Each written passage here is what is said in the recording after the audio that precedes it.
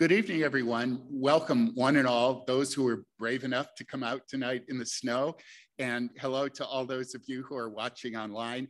I'm David Stark, Chief Curator Emeritus, and I'm here to introduce our speaker tonight. First, I would like to thank everybody in the auditorium for wearing their masks throughout the entire program. I'm not going to wear a, a mask during my introduction, nor will our speaker, uh, because we're six feet in distance from anyone.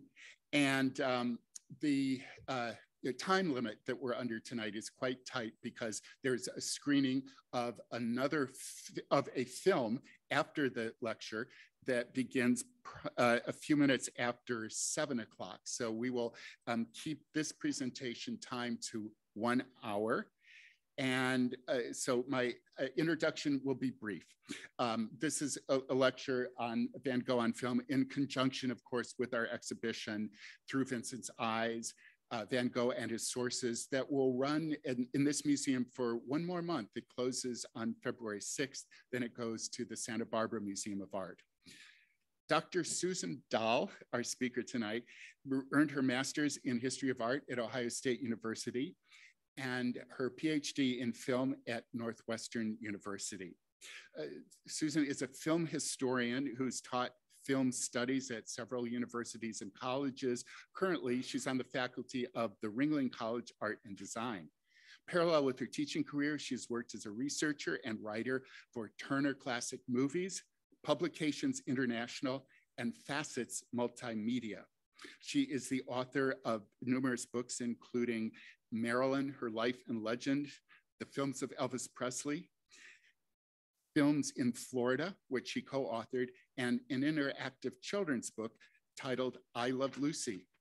Won't you help me in welcoming to the stage Dr. Susan Doll?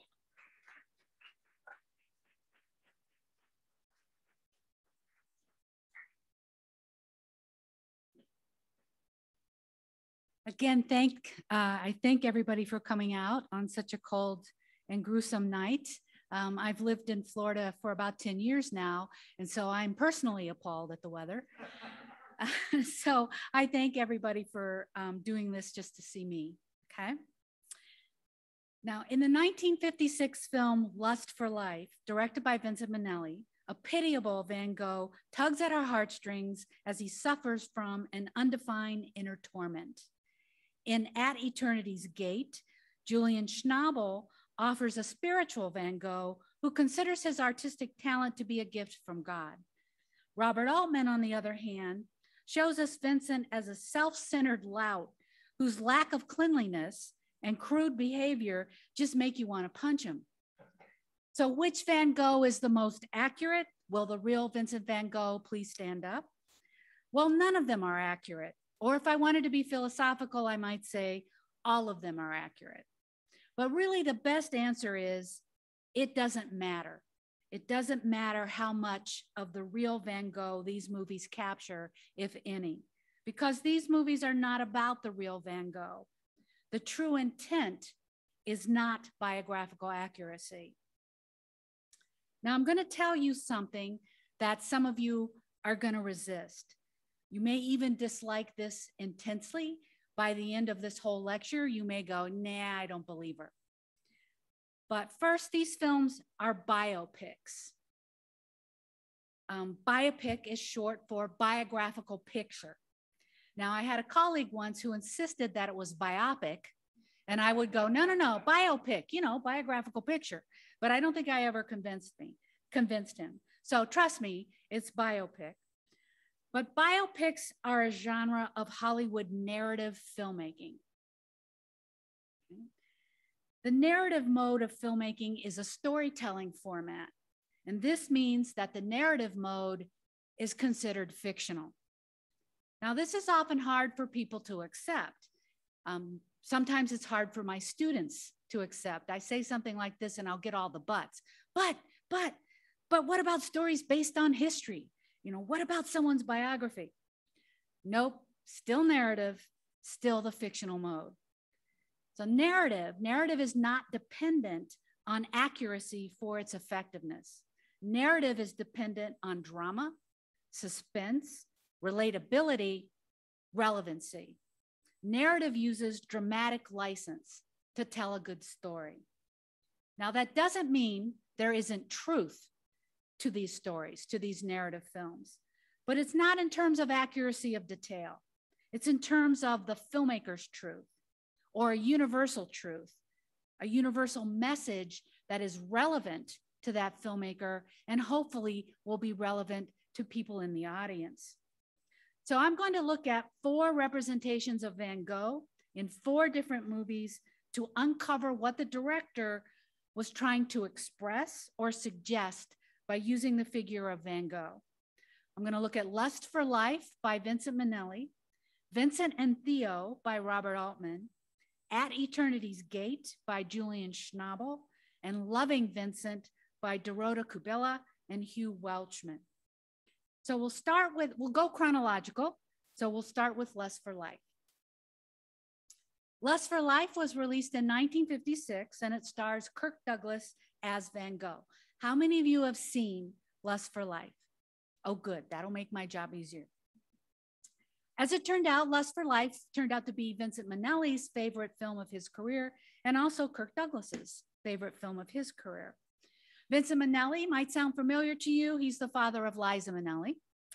But Vincent Minnelli is usually remembered in retrospect for his glossy, big budget musicals, An American in Paris, or Gigi, or Meet Me in St. Louis. But in the 1950s, he was also lauded for his melodramas. Sometimes these melodramas were about artists, not just fine artists, but also writers or film directors, artists who experience loneliness and alienation because of their need for artistic expression.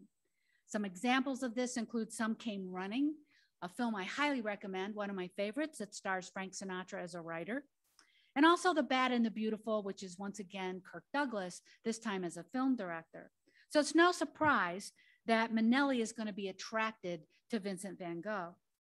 And as was typical of his directorial style at that time, Lust for Life features some of the conventions of melodrama. So, what is a melodrama? It's a genre of popular storytelling. It's characterized by a story that directly appeals to emotion.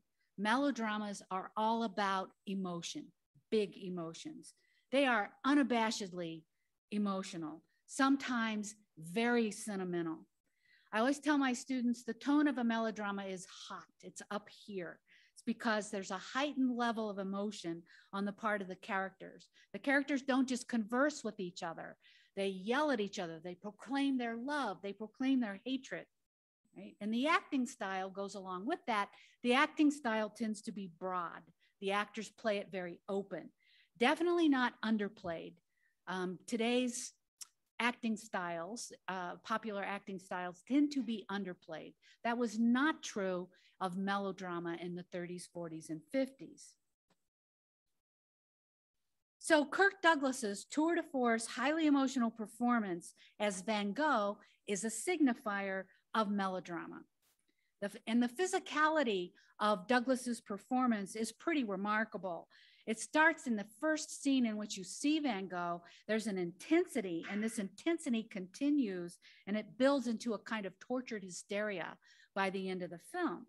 It must have taken an incredible amount of energy to sustain that kind of performance um, Van Gogh or, or Douglas as Van Gogh is constantly on the move. He lurches at the other characters, not to be violent, but just to try to interact with them. So he lurches, he reaches out. Even when he is still, he is hunched over. He, uh, there's an energy that comes off of him. He's like a coiled spring. But it's these melodramatic trappings that make Lust for Life a target of contemporary culture critics who dismiss this film because it's melodramatic. Oh, it's quaint. Oh, it's old fashioned. Right now, I'm going to return to this later. Right. So I want you to file that away in your minds.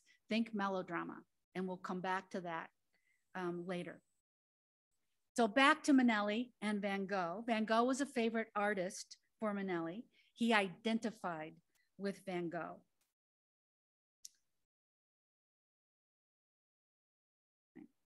Part of the reason why he identified with Van Gogh is because um, Minnelli considered himself an artist. And it wasn't because he painted or drew a bit. He really was an artist. He was just an artist in popular media, in popular mediums. He began as a window dresser at Marshall Fields in Chicago, and that led him into dressing sets for local theatrical productions, which led him into set designing. He was able to parlay that into a move to New York, where he worked on Broadway as a costume and set designer and then as a director. And from there, it was just a jump to Hollywood. So the commercial theater, Broadway, the Hollywood film were his mediums. What Minnelli sought to do throughout most of his career was to collapse the distance between fine art and popular art, believing that the aesthetics, the aesthetic principles of high art could be applied to popular art. So expressing oneself in popular film was just as sophisticated as expressing oneself in painting or in sculpture. Now, culture, culture critics of the day, elitists, they would never get on board with this.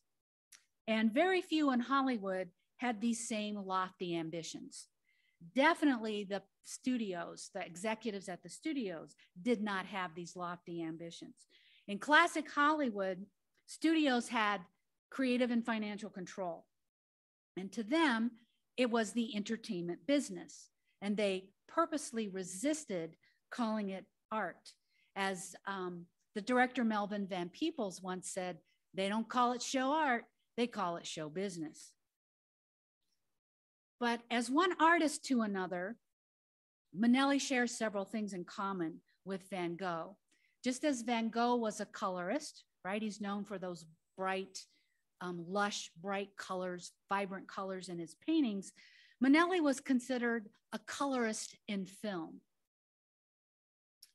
He made incredible use of the richness and the sensuousness of Technicolor or Eastman color.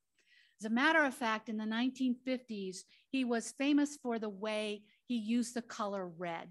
In his films, the color red seemed to pop, as you see here in a couple of scenes from An American in Paris.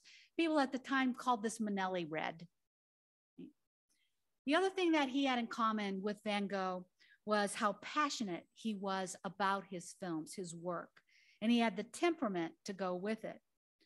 Minnelli had a commitment to his films to the exclusion of everything else, and his personal life suffered. So Minnelli understood the price that Van Gogh paid for a passionate commitment and a desire to express himself. And he understood that that price was emotional isolation and alienation. Now, according to Judy Garland, to whom Minnelli was married to for a few years, Garland said that beneath Minnelli's calm surface were these very deep emotions, almost neuroses, that he repressed when he was around people. He saved them or he expressed them in his films. Though respected in the industry, Minnelli saw himself as a misfit or a nonconformist, right? Like Van Gogh was a misfit. And part of that feeling um, came from this attempt to close the distance between fine art and popular art and not really finding anybody who would um, who would support him on that. But it also may have had something to do with his sexuality which he never fully came to terms with. Especially in his melodramas he was attracted to characters who did not want to conform to mainstream society who turned inwards to try to heal themselves but inevitably failed at it now, I doubt if Vincent Minnelli was ever as tortured as Van Gogh appears to be in Lust for Life. And Minnelli certainly enjoyed success in his profession in a way that Van Gogh never did. But in using Van Gogh as a character in his films, Minnelli expressed what making films or making his art meant to him. And he exorcised the inner pain that he felt over the rejection of his movies as art and he revealed that there was a price that he paid for his commitment, and that price was isolation and alienation.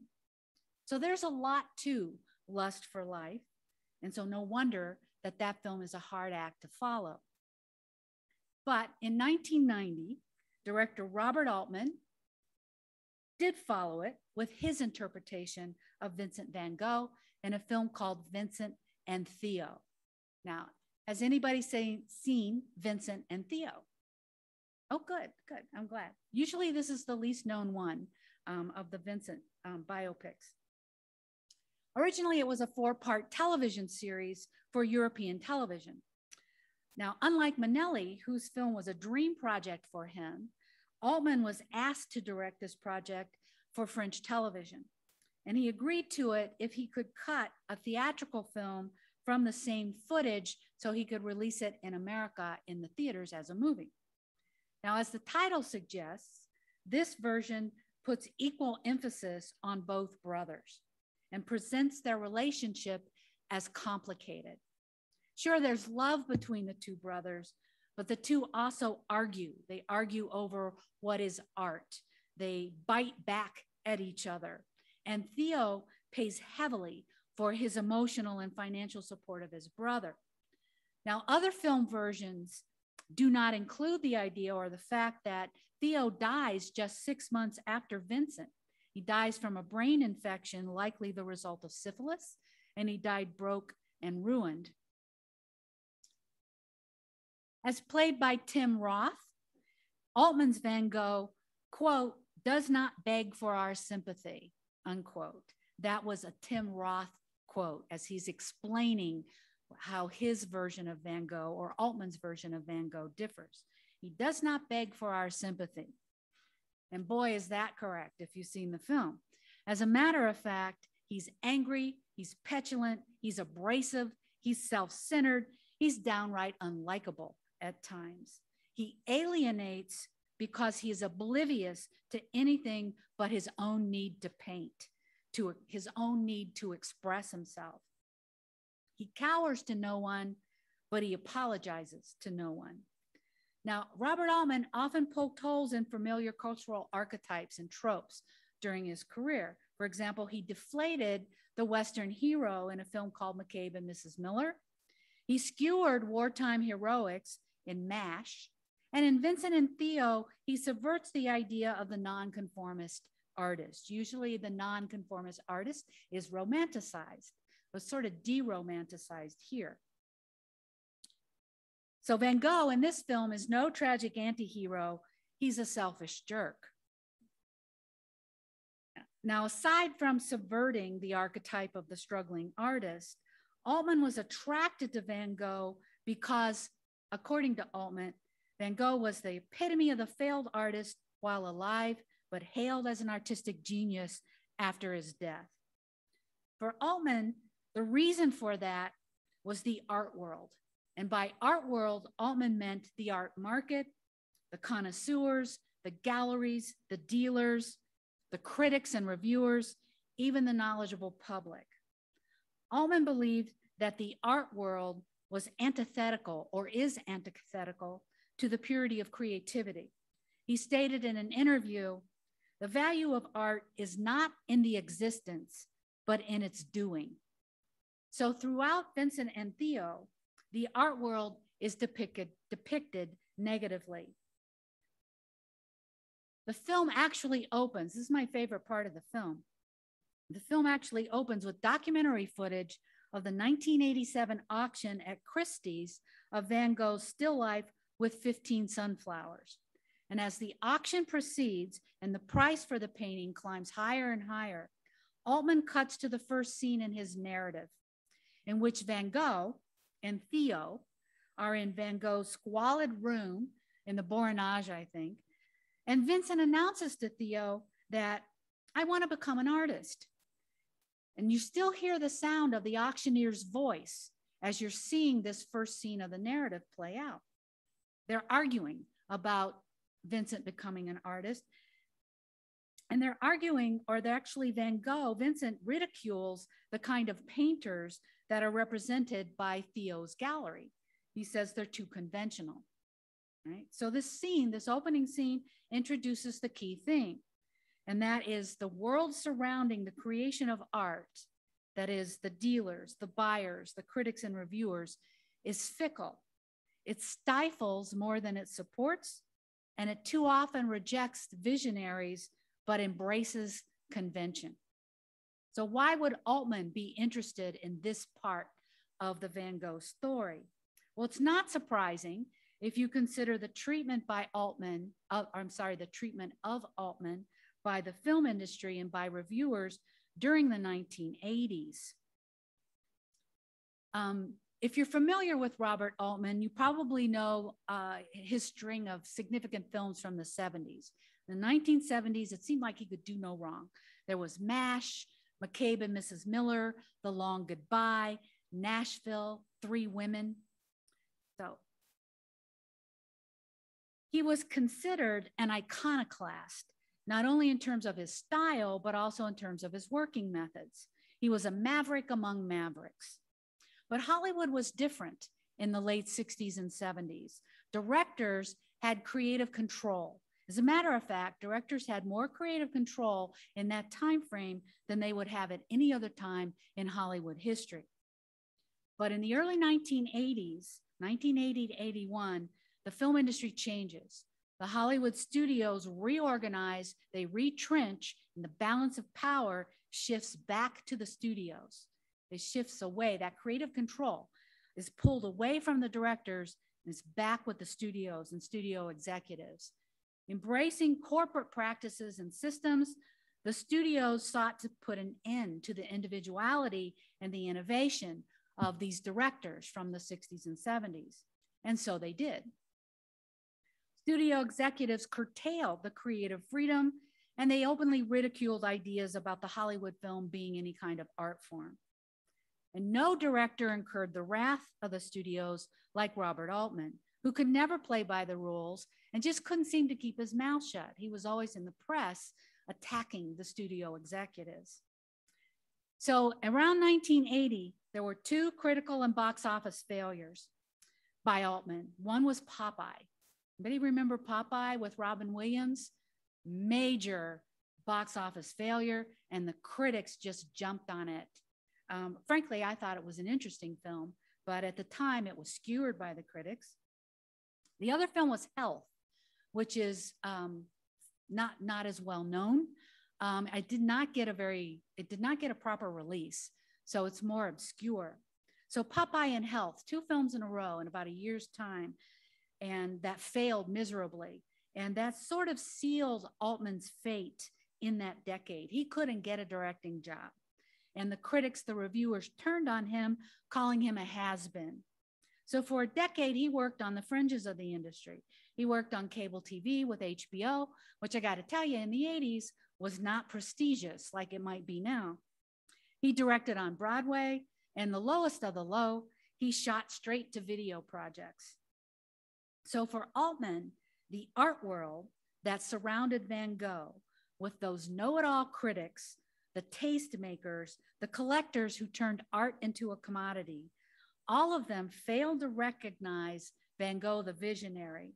They were very much akin to the film industry with its corporate minded studio executives and to the opinionated reviewers who had rejected Altman, his style, and his working methods.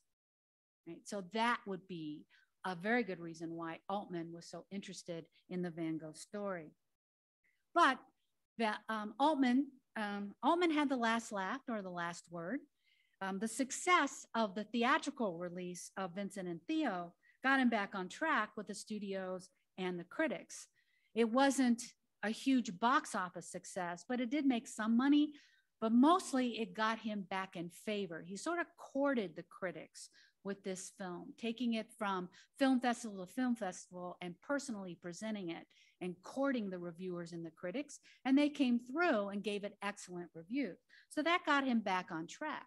So two years after that, he really got his payback with a movie called The Player. Anybody seen The Player? Highly recommend it. It is a complete skewering of the film industry and the shallow studio executives and, the, and their bankrupt practices. And that would turn out to be Altman's greatest hit, both at the box office and critically. Now, two recent films, we're going to move forward by um, several decades. Two recent films about Van Gogh focus on the last year or so of his life. but they are opposite. They're opposite in tone, they're opposite in structure, and they're really opposite in style.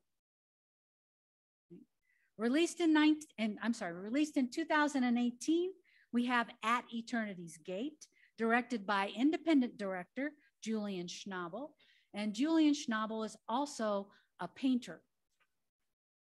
This is the first biopic of Van Gogh that accepted the latest version of how Van Gogh died. According to a 2011 biography by Stephen Naifeh and Gregory White, Van Gogh did not shoot himself in the stomach, but instead, local teenagers, I guess the a kind of 19th century French version of juvenile delinquents, um, shot him instead. Now, in the film, in a voiceover, Van Gogh notes this is my favorite part of the film. Van Gogh notes that one of these boys was dressed like Buffalo Bill. Right? That's that's my favorite detail of the story. But for our purposes, we're interested in the interpretation of Van Gogh as a character. How might a painter, right? Schnabel's a painter. How might a painter interpret Van Gogh as a character? Well, Schnabel's Van Gogh is the most spiritual. Schnabel presents creativity as a kind of divine madness. And as played by Willem Dafoe, Van Gogh seems enraptured at times. He's enraptured with the process of painting. He's certainly enraptured by nature. But that's not to say that Schnabel's Van Gogh jives with organized religion. In a prolonged discussion with a priest at Saint Remy, where Van Gogh was undergoing treatment, he disagrees with the priest. He disagrees with a priest who makes negative remarks about Van Gogh's painting. He actually questions Are you sure you're a painter? Is, is that what you're really calling yourself? Do you really think you're a painter? The priest, by the way, is magnificently played by one of my favorite actors, Mads Mikkelsen, Scandinavian actor. Um, the priest questions Van Gogh eh, How can you believe you're a painter? Um, how can you believe your painting style is a gift from God? Because your paintings are so ugly. But Van Gogh believes in the spiritual purity of his vocation as a painter. So he calmly and confidently proclaims, Why would God give me a gift to paint ugly things? So the priest takes another tact to argue he asks him, Well, have you ever sold a painting? You know, he's attempting to prove that Van Gogh can't be a real artist if you've not really sold anything. But Van Gogh counters with, Jesus was totally unknown when he was alive. And several times in the film, Van Gogh speaks passionately about teaching people to see, to really see through his paintings. He wants to show what he sees through his paintings to mankind because he claims they can't really see. My brothers, as he says, can't really see. I want to teach them to see through my paintings. I want to teach them to see nature as I see it. And is that the essence of Schnabel's Van Gogh, wanting to teach the viewer to see? And is it Schnabel's purpose, purpose as a painter and a filmmaker to teach us to see? If so, it's probably a thankless task because, as Van Gogh says, there's a lot of destruction and failure at the door of a successful painting. Now, the year before At Eternity's Gate, a highly unusual animated film about Van Gogh was released called Loving Vincent. How many people have seen Loving Vincent? Right? Few of you. I was written and directed by Dorota Kobiela and Hugh Welchman, and Kobiela is also a painter. Right now, the four things that our directors have in common three of them were painters that's Minnelli and um, Schnabel and Kobiela. And Robert Altman referred to his films as paintings. These are my paintings, and the actors are my paint, right? So, very much our directors feel a kinship with painting and painters. In this film, each of the film's 65,000 frames is an oil painting on canvas. And the oil paintings were done in the same style as Van Gogh by a team of 125 artists from around the globe. So I'll talk a little bit more about that in a minute. First, how about Van Gogh as a character? How, um, how is Van Gogh? What does he represent? Um, the character of Van Gogh. What is Kobiela's interpretation? Well, this is, I kind of cheated a little bit with this film because Loving Vincent is less of a biopic and more of a detective story, complete with flashbacks. Right? The story begins a year after Van Gogh has died, supposedly through suicide. And the postman, the postman, Joseph Roulin, asks his son Armand to deliver Van Gogh's last letter to Theo. And the elder Roulin doesn't believe the verdict of suicide. He finds this suspicious because he claims that not long before Van Gogh died, that um, Van Gogh had been in a good mood and that he had said, I feel calm, I feel normal. So Roulin is, is suspicious of this verdict of suicide. So he wants his son um, to deliver this last letter to Theo in the hopes that there might be clues in it. Armand, Armand reluctantly agrees to his father's request and he heads for Paris. And along the way, he encounters a lot of people who knew Van Gogh at the end of his life. And he tries to piece together what happened to Van Gogh, what was Van Gogh like at the end of his life. He even suspects that that unruly local boy did indeed shoot him. But no matter how many people he encounters and how many clues he uncovers, the truth eludes him, and the real Van Gogh remains a cipher. And ultimately, that is still the case. The man, Van Gogh, the man, remains a mystery to us, a mystery for the ages. And that idea is reinforced by the filmmaker's decision to render the flashbacks or the memories of the people that Armand talks to, renders the flashbacks, these memories, in black and white um, a kind of black and white wash that suits the elusive nature of memory. So, Loving Vincent seems to posit are we really owed the truth of the real Vincent van Gogh? Isn't his work, his vision, his style enough? And to that end, his paintings are represented to us through the astounding animation in vivid color. So representing, notice I didn't say representing, I said representing. That's not a, a mistake on my part. Um, what do I mean by representing as opposed to merely representing? So all of our directors face the issue of how to depict Van Gogh painting, how to depict his work, how to depict um, the art or the act of him painting. And this is especially significant for Van Gogh because Van Gogh was all about this outward expression of his inner landscapes, so to speak. How do you depict that idea on film? And should you even try? Well, of our four films, I would say that Loving Vincent and Lust for Life are the most interesting in that attempt. And they share in common the idea of representing Van Gogh's visual style in another medium so that we as viewers understand it better. And I dare say the directors um, do this as a way to understand Van Gogh better.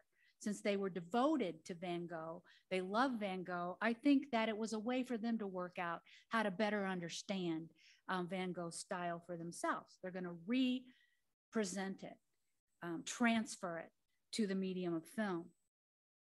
Now, Van Gogh's thick impasto and telltale brushstrokes suggest a kind of energy or movement, the very vibrancy of nature that Van Gogh was always so enraptured by. In Loving You, I'm sorry, in Loving Vincent, Van Gogh's paintings literally move because they're animated, and sometimes even the brushstrokes move.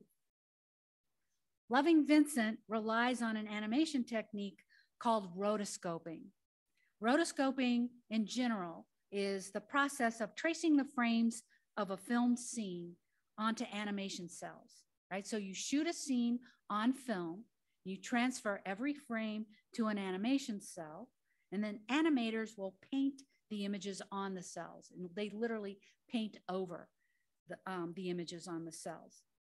Loving Vincent's a little bit different because the film frames the film, the frames of the film that was shot are transferred to canvases, and all of these 125 artists painted the canvases in that impasto style of Van Gogh.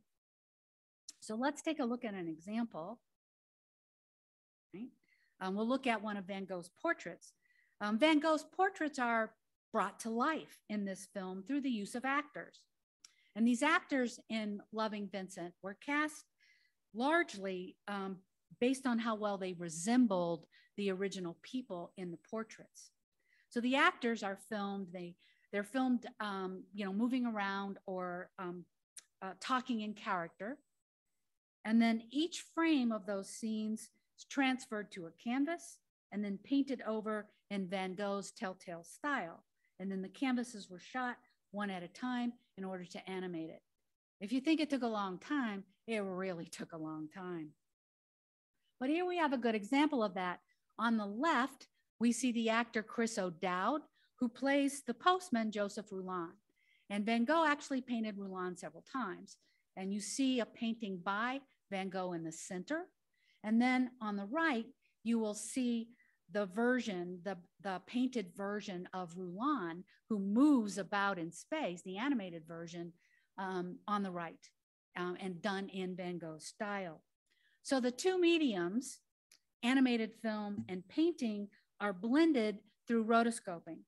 And it accentuates the style of Van Gogh, making that suggestion of movement literal. So in effect, it's interpreting Van Gogh's style into another medium right? So I'd like to show a clip. Actually, it's the trailer from um, Loving Vincent. If we can show the trailer, it will better show you um, what I'm trying to tell you.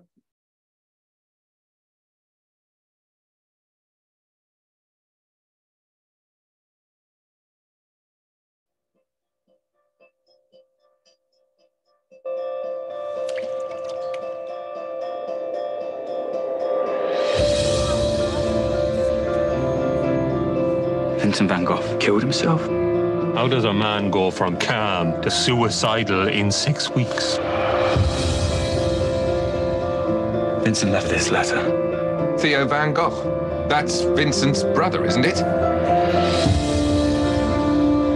I don't see the point in delivering a dead man's letter. So, if you had died and there was a letter out there that you had sent to me, I'd want it.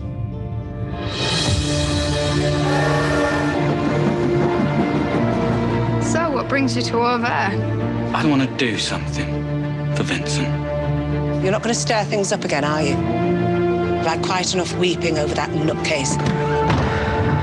His neighbors and the police and the whole town against an ill man. Vincent, what have you done? We all knew something was very wrong. Vincent! I could have been one of them. Great artists are not peaceful souls. That is the price of your path. Is it worth it? Did he change his mind? Did he want to live after all? You want to know so much about his death. But what do you know of his life? What did you do for him? I would like to show by my work what this nobody has in his heart. Your loving Vincent. I think it's pretty obvious to anyone watching the film that there is, that the directors do um, interpret or represent Van Gogh's style into another medium, the medium of animated film. The other film to interpret Van Gogh's painting into another medium was Lust for Life. And I gotta say, after looking at, watching all of these films again and reading the director's statements about their intent and reading about the director's working methods, I would say that Minnelli wins the prize for the most expansive and thorough approach to interpreting the medium of painting into the medium of film. Now, this is the part where you remember um, the melodrama, right? Remember, we left off I told you to remember the melodrama about Lust for Life and how that it was, it has been criticized, or the film itself is looked down upon in retrospect because of its melodramatic conventions. In an article, the critic and journalist Robert Fulford actually said, quote, no one will ever call it sophisticated. Sorry, Bob, but I'm about to do just that.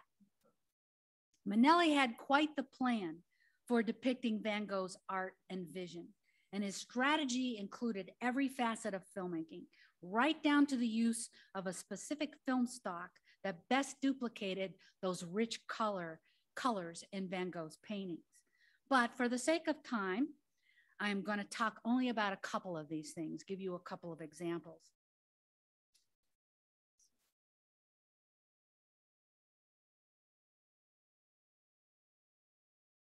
So we'll start with something simple. In some scenes, Minnelli duplicates Van Gogh's paintings through production design and lighting. And he does this not just to show off, but as a way to suggest the influence that that location or setting may have had on Van Gogh.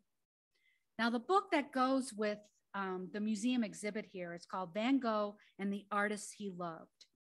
And in it, we see Van Gogh's Terrace of a Cafe at Night. It's compared to a painting by Louis, by Louis Anquetin. And actually, Anquetin's painting is in the exhibit. I just saw it today. It's beautiful. It's one of my new favorite paintings. Um, so we, this, com the comparison and contrast is made um, in the book for this exhibit. Now, I think we can add Minnelli's interpretation to the equation. He's not copying, right? He's interpreting using cinematic techniques. Now, if you are inspired by anything that I am saying, or you're inspired by the films, you might go surfing around on the internet looking for images, and it's likely you'll come across this, right? Don't be fooled by this. I was fooled by this for a minute. This is not from, um, it's not from the film Lust for Life. It's not actually in the film um, even though it looks like a pretty good approximation of the two paintings I just saw you, um, I do think that this may have been used for publicity purposes. And the, my clue to that is um, this, that it is the size of a photograph or the size of a painting. It's the format of a painting, right? Now, Lust for Life was in CinemaScope. And CinemaScope, the aspect ratio is horizontal. So that was my first clue that yeah, I don't think this is actually in the film. And the other is, as I looked at it more carefully, if you look at the lighting, the lighting is very harsh contrast um, between lights and darks. That is not a Minnelli style thing. It certainly wasn't the way he did his lighting in Lust for Life. And lastly, you can see um, Douglas as Van Gogh, and you can see um, Anthony Quinn as Gauguin, and they look like they're posing. They don't look like they're acting, they look like they're posing. So I think that this was a publicity still. It may have been actually been a photograph that they used to create posters from or lobby cards. All right. So if you come across this, I'm almost absolutely sure not in the film. Instead, this would be how Minnelli interpreted, right? You can see it's in the CinemaScope aspect ratio. You can see the production design echoes the look of the cafe in both of those paintings. And it also copies the color scheme um, with a kind of dark, deep blue um, and the yellow.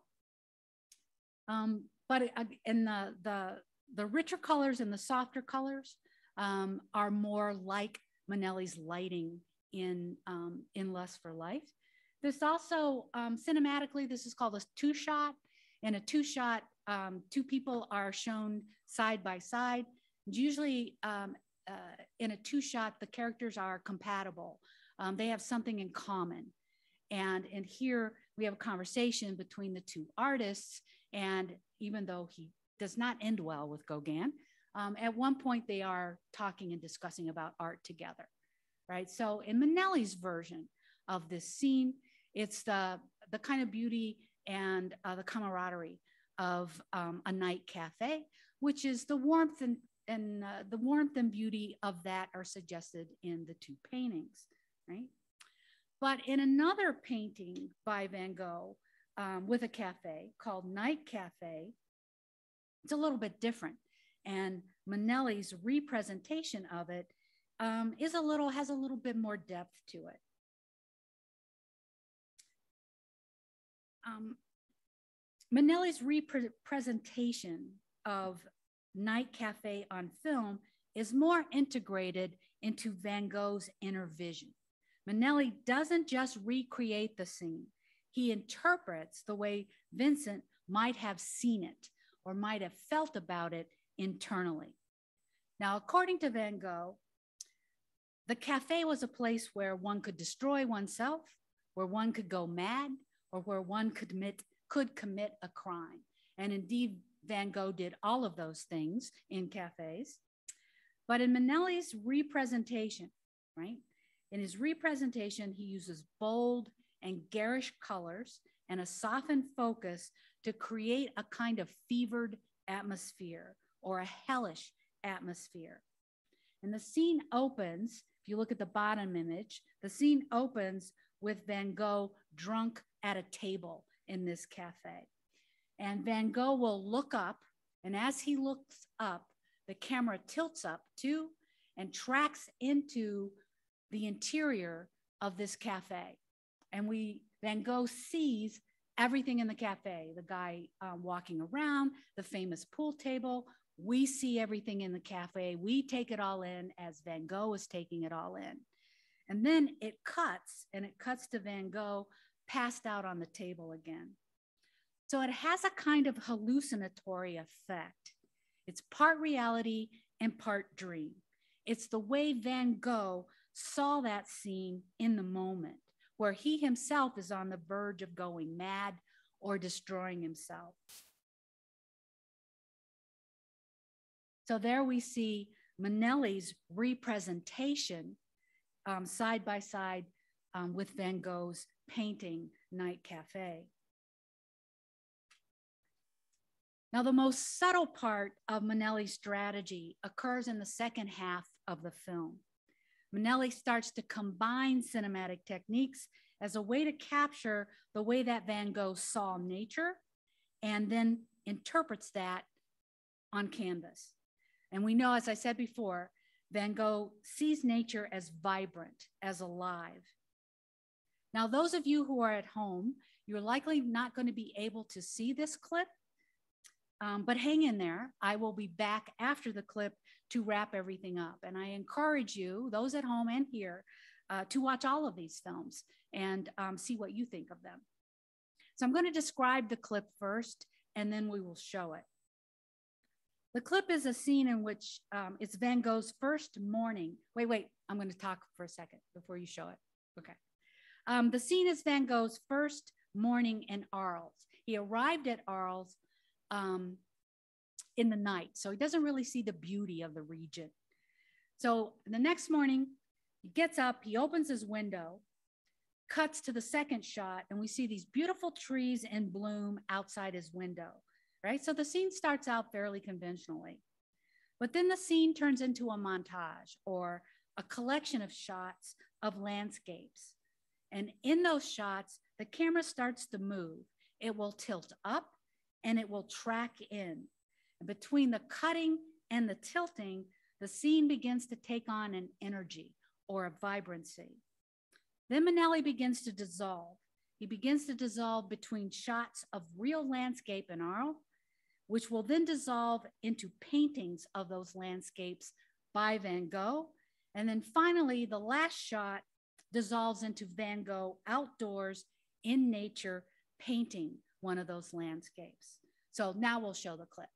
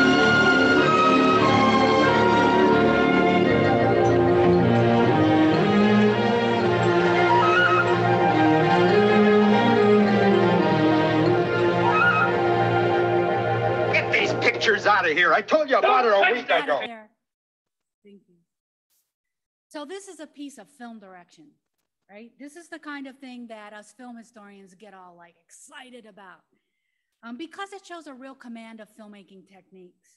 The scene tells us, it tells us the impact of nature on Van Gogh. It shows us how he is interpreting nature into his style and in using tilts and dissolves in a montage, it captures the vibrancy, the suggested movement that is inherent in Van Gogh's style. It represents Van Gogh's vibrant painting style into cinematic techniques. Now, tilts, dissolves, and cutting are not fancy cinematic techniques. They're pretty basic part of Hollywood filmmaking, going all the way back to D.W. Griffith back in the day. So it's not special effects, it's not obvious techniques. Kind of, you know, I love loving Vincent, but those that animation is pretty obvious. But in the hands of a master director who understood painting as well as film, it tells us what we need to know about Van Gogh's connection to nature, the intensity with which he expresses what he feels, and the vibrancy of his style. The world of Van Gogh has become one with the world he, cre- he created with his paints. And Van- Minnelli does this visually. There's no dialogue. Van Gogh isn't explaining this. And, then and Minnelli does it within the conventions and practices of classic Hollywood filmmaking for a mass audience of everyday moviegoers who likely couldn't tell you anything about Van Gogh. So, talk about collapsing the distance between high art and popular art. And so, Mr. Fulford, you are dead wrong when you say no one would call Lust for Life sophisticated. I would. So thank you guys.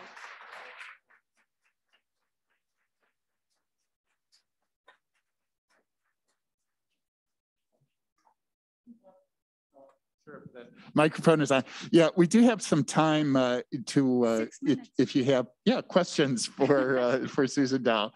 Does anyone have a question they'd like to ask?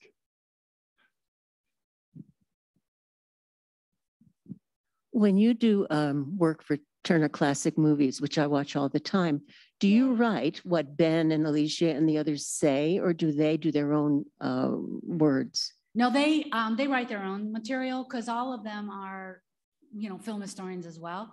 What I write for their website, um, I've written in a number of, of capacities. They used to have a blog site called the Movie Morlocks, which was um, uh, which was very well received.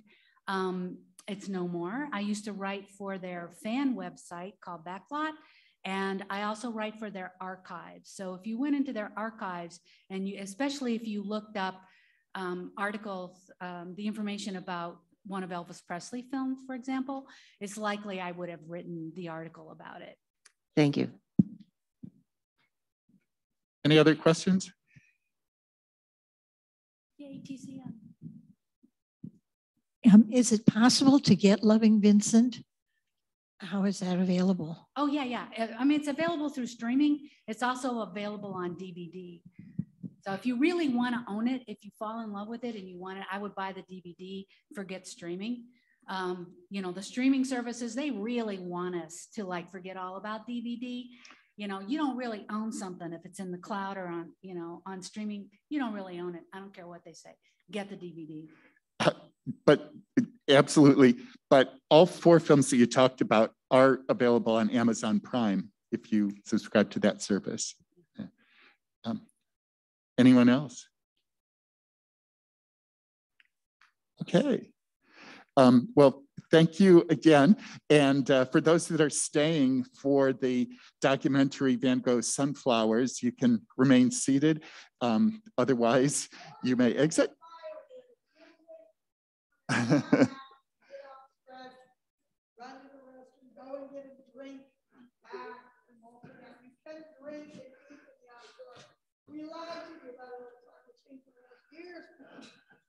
There's still people who like ask, no, no, no, you may eat and drink in here. So if you want to take, help in case there's anybody coming just for this, I want, I do want to announce something, but also for Jim and it's like the world glad it's going to take Thank you, everybody. Thank you, thank you.